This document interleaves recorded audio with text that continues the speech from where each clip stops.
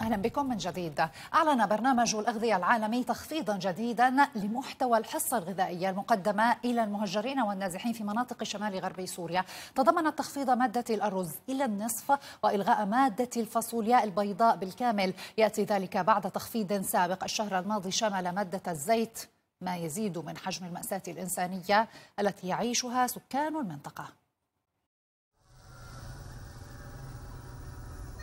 يتفاقم الوضع الإنساني شمال غرب سوريا وتزداد المأساة الإنسانية هناك مع انتشار فيروس كورونا حول العالم. وعلى الرغم من عدم وصوله إلى تلك المنطقة إلا أن آثاره كانت حاضرة لتزيد من معاناة سكان المخيمات في الشمال. برنامج الأغذية العالمي يعلن عن تخفيض جديد لمحتوى الحصة الغذائية المقدمة إلى المهجرين والنازحين. قرار التخفيض أعلن عنه منسق الطوارئ في البرنامج العالمي براين لانذر شمل الأرز المادة الأساسية في الحصة إضافة إلى إلغاء مادة الفاصولياء البيضاء مع الحفاظ على نسبة عبوات الزيت التي تم خفضها شهر نيسان الماضي المساعدات الغذائية التي أعلن عن تخفيضها اليوم تقدم لنحو أربعة ملايين ونصف مليون مدني بحسب برنامج الغذاء العالمي الذي حذر بدوره من مجاعة كبيرة قد تحل في المنطقة ولا يمكن السيطرة عليها. وأشار البرنامج العالمي إلى أن ما يتم تقديمه لا يتناسب مع الاحتياجات الأساسية في المنطقة داعيا ومحذرا الفرق الإنسانية. من خطورة استمرار عمليات التخفيض على المواد الغذائية المقدمة. التخفيض المستمر لحجم المساعدات الإنسانية التي تقدمها المنظمات الإنسانية والأممية يزيد من المأساة السورية التي تضاعف حجمها خلال الفترة الأخيرة بعد أن سيطر نظام الأسد على مساحة واسعة من المناطق في أرياف إدلب وحلب وحماة وهجر سكان تلك المناطق تاركين ممتلكاتهم ومحاصيلهم الزراعية التي بدأت قوة النظام بحصادها وحرق ما لم تتمكن من حصاده لتبقى آلاف الأسر والعائلات السورية من دون أي مصدر للدخل ما يزيد من حجم تلك المأساة الممتدة على مدى عشر سنوات. لمناقشة هذا الموضوع ينضم إلينا محمد حلاج مدير فريق منسق والاستجابة عبر الأقمار الصناعية من أنطاكيا ومعنا منذ بداية سوريا اليوم دكتور أسامة القاضي خبير اقتصادي ورئيس مجموعة عمل اقتصاد سوريا من تورنتو من كندا. أرحب بكم آه، آه، سيد محمد حلاج ما الذي تبقى من السلة الغذائية بعد التخفيض الثاني في محتوياتها؟ نعم آه، بداية مساء الخير جميعا. حقيقة للمرة الثانية على التوالي يقوم برنامج الأغذية العالمي آه، بتخفيض محتويات السلة الغذائية أو تخفيض مقدار السعرات الحرارية الموجودة ضمن السلة الغذائية. اليوم ما تبقى من السلة هي عدة مواد لكن لو لاحظنا هذه المواد هي مواد قسم منها آه، نحن بحاجة لتقديمه للسكان المدنيين. والقسم الآخر آه، رآه البعض من المستفيدين من البرنامج أنه ليس داعي لا يوجد داعي له في هذه الأوقات. يعني اليوم ما تبقى في محتويات السلة الغذائية مادة السكر 6 كيلوغرام مادة الأرز 7.5 كيلوغرام بالإضافة إلى مادتي العدس والحمص الجافتان آه، بمقدار 6 كيلوغرام لكل مادة بالإضافة إلى عبوة زيت. إضافة إلى مادة الطحين بمقدار 15 كيلوغرام. وهذه هي الحصة شهرية سيد محمد أليس كذلك؟ نعم هذه هذه الحصص تقدم شهريا من قبل البرنامج عن طريق الشركاء التابعين للبرنامج في منطقة شمال غرب سوريا. طبعا. هذه أول نقطة. النقطة التي أود أن أتكلم عنها اليوم التخفيض آه، طرق آه، على محتويات السلة آه، تخفيضين. التخفيض الأول كان بتاريخ 31 آذار أثناء توزيعات شهر نيسان للبرنامج. كان التخفيض هو مقدار عبوة زيت من أصل عبوتين موجودتين ضمن السلة. التخفيض الثاني آه، صدر ب 25 أيار. طبعا هذا التخفيض آه، كان الأكبر وكان يمس طيب. آه، نوعا ما بمحتويات السلة. كان التخفيض هو 7.5 كيلوغرام لمادة الأرز وحذف مادة الفاصوليا البيضاء بمقدار 6 كيلوغرام بشكل كامل. طيب يعني هذا قلت قلت سيد حلاج. قلت ان آه، نعم. قلت إن منظمة الغذاء تقوم بالتوزيع عبر وكلاء محليين، كيف تأثر هؤلاء الوكلاء أيضا بتمويل المنظمة؟ يعني هنا لا نتحدث عن إدخال المنظمة نعم عبر المعابر الإنسانية. نتحدث عن أن هناك وكيل يقوم بالتوزيع أيضا أو منظمة أخرى تمول وتقوم بالتوزيع. آه، فيما يتعلق بموضوع برنامج الأغذية العالمي دائما هناك مانحين تقدم للبرنامج آه، المساعدات اللازمة لاستمرار عمله في مناطق الكوارث ومنها سوريا أحد المناطق المشمولة في هذا التوزيع. التوزيع يتم آه، يتم عن طريق منح عن طريق منح للشركاء المحليين الموجودين في المنطقة. أعتقد عددهم ستة شركاء أو سبعة لا أذكر الرقم بشكل دقيق. آه، يتم منحهم مقدار معين من السلل للعمل في مناطق معينة. يعني كل منظمة محلية شريكة للبرنامج تعمل ضمن قطاع معين. هناك آه، منظمات تعمل في قطاع المخيمات هل, هل هناك من هذه المنظمات المحلية من توقف عملهم؟ آه لا أحد يتوقف عمله. طالما أن البرنامج مستمر بتقديم الدفعات نلاحظ أن آه يعني يتم السؤال بشكل يومي أن هناك دفعات آه، مساعدات تدخل عبر معبر باب الهواء بشكل يومي. هذه المساعدات هي جزء كبير منها لبرنامج الأغذية العالمي. يعني هذه التوزيعات تتم نعم. بشكل شهري. يعني هذه آه، المساعدات تدخل بشكل شهري إلى الداخل نعم. السوري. يتم توزيعها على مستودعات الشركاء ثم يتم المنظمات بتوزيع هذه المساعدات نعم. آه، دكتور قاضي الدول التي تقوم بتمويل يعني الأمم المتحدة والمنظمات التابعة لها هل هل تقوم يعني بإعادة النظر بالمبالغ المقدمة شهريا حتى يتأثر عمل هذه المنظمات بالسرعة اللافتة هذه بعد أزمة كورونا؟ هو يعني يعتمد على آه، المنح التي تقدمها دول العالم لمنظمة الإغاثة الغذاء العالمي أو سواها من مؤسسات الأمم المتحدة.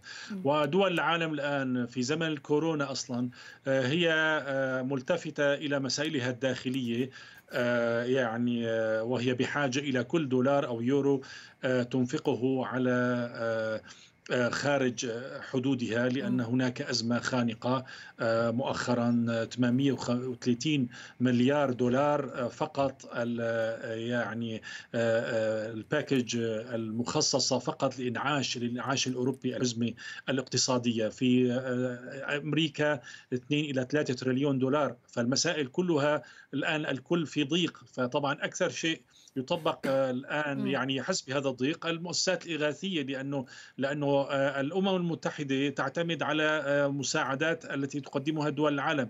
المشكلة بأن آه، دائما هذا ليس أول تخفيض لا في السلة الغذائية ولا في حجم الإغاثات. م. كل عام لدينا نفس المشكلة. آه، لعدة أسباب. مرة كورونا ومرة الأمم لا تساهم ولا تدفع اشتراكاتها.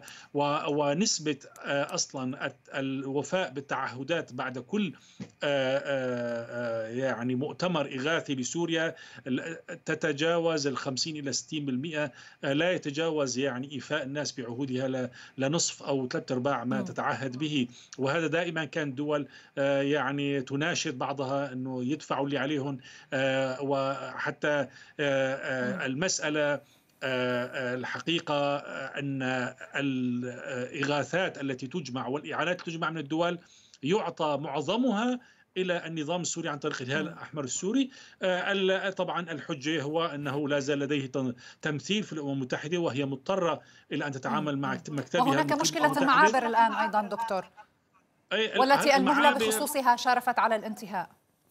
ممكن أنا ما أعتقد هذه ستكون مشكلة. أعتقد روسيا ستمدد لأن على انها الآن هي في شهر عسل روسي تركي لا يوجد لديها مشكلة.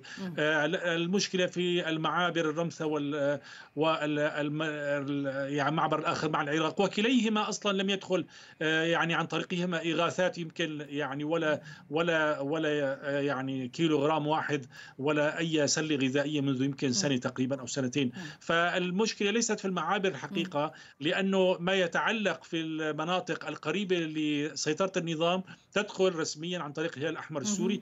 وعلى يعني حتى أن النظام آه، آه، يطرح عقود مع محلات وسواها لتوزيعها عن طريق البطاقة نعم. الذكية تبعته. ولجنة الإدارة العليا لحسن مخلوف وزير الإدارة المحلية رأسها يجتمع مع ممثلة برنامج الأمم المتحدة ليس فقط من أجل الإغاثات بل أيضا هناك يعني مشاريع آه، إعادة ترميم وسواها.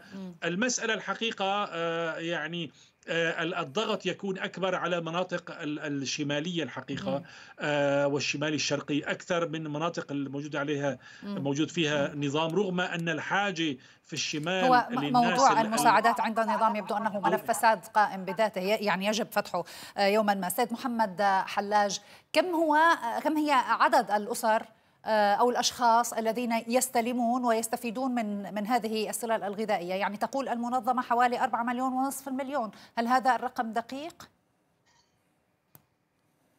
نعم فيما يتعلق في هذا الأمر قد يكون الرقم دقيق في حال لو كان آه، الكلام مشمول آه، لكافة المناطق السورية. اليوم نحن عندنا تقريبا حوالي أنا لا أذكر الرقم بدقة بشكل كامل يعني. أنا أتذكر أن الرقم هم قالوا 4 ملايين ونصف سوري في الشمال. طيب أنا معك. أنا لو جينا لهذه النقطة اليوم الأمم المتحدة لا تعترف في أكثر من ثلاثة مليون سوري موجودين في شمال غرب سوريا. واليوم البرنامج يقول لدينا أربعة ونصف مليون مستفيد من هذه المساعدات. إذا هناك تناقض واضح في هذا الأمر. يعني اليوم المنطقة الأمم المتحدة تقول لدينا ثلاثة إلى ثلاثة ونصف مليون في شمال غرب سوريا. يعني عدا مناطق درع الفرات وعدا مناطق غصن الزيتون. والبرنامج يقول لدينا أربعة ونصف مليون مستفيد. هذا تناقض واضح وصريح في هذه الأرقام.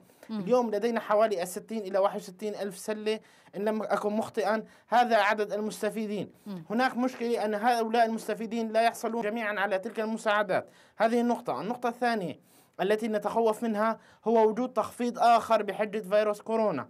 النقطة الثالثة والأهم هي إغلاق المعابر في حال لم يمدد القرار. النقطة الرابعة واللي هي الأهم يعني هذا الشيء توقعه أغلب المستفيدين أثناء استبيان سابق من التخفيض الأول أن 58% من المستفيدين من البرنامج توقع هناك تخفيض آخر.